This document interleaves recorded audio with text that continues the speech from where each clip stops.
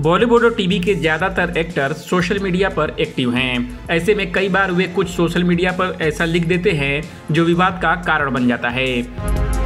अब मशहूर TV serial Mahabharat में अर्जुन का किरदार निभाकर मशहूर हुए एक्टर फिरोज खान ने भी बॉलीवुड के मेगा स्टार अमिताभ बच्चन की पत्नी, सांसद जया बच्चन के बारे में कुछ ऐसा लिख दिया है।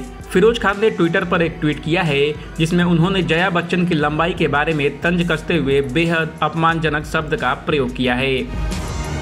फिरोज खान ने अपने ट्विटर अकाउंट पर लिखा, अमिताभ बच्चन ने पिछले 50 साल में जो इज़्ज़त बनाई थी, उसकी नटगुल्ली पत्नी ने उस इज़्ज़त का कबाड़ा कर दिया। फिरोज खान ने यह ट्वीट मंगलवार रात को किया। उन्होंने यह ट्वीट सांसद के तौर पर जया बच्चन के संसद में भाषण को लेकर कहा है।